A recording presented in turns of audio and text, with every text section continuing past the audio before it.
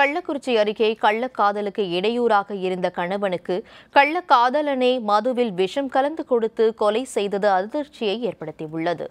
உளுந்தூர்பேட்டை அருகே உள்ள செஞ்சிக்குப்பம் கிராமத்தைச் சேர்ந்த ஆனந்தன் என்பவர் லாரி ஓட்டுநராக வேலை பார்த்தார்.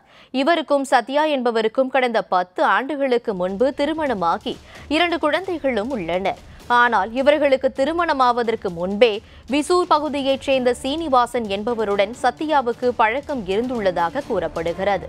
பிறகு சத்யாவும் ஆனந்தனை திருமணம் செய்து கொள்ள சீனிவாசனும் வேறொரு பெண்ணை திருமணம் செய்து கொண்டார். மேலும் ஆனந்தன் ஓட்டுநர் வேலைக்காக வெளியூர் சென்ற நிலையில் அவ்வப்போது சீனிவாசன் சத்யாவை தனிமையில் சந்தித்து கள்ளக்காதலை வளர்த்துள்ளனர்.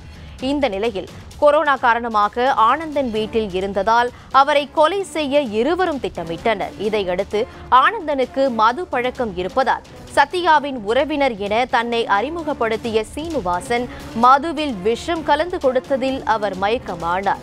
இதனைத் தொடர்ந்து ஆனந்தை கெடிலம் ஆற்றில் போட்டுவிட்டு தப்பிச் சென்றுள்ளனர். இதை கண்ட அக்கம்பக்கத்தினர் முதல் உதவி அளித்தும் அது பலனின்றி நிகழ்விடத்திலேயே ஆனந்த் உயிரிழந்தார். தகவல் அறிந்து அங்கு சென்ற போலீசார் விசாரணை செய்து சத்யாவையும் சீனுவாசனையும் கைது செய்து சிறையில் அடைத்தனர்.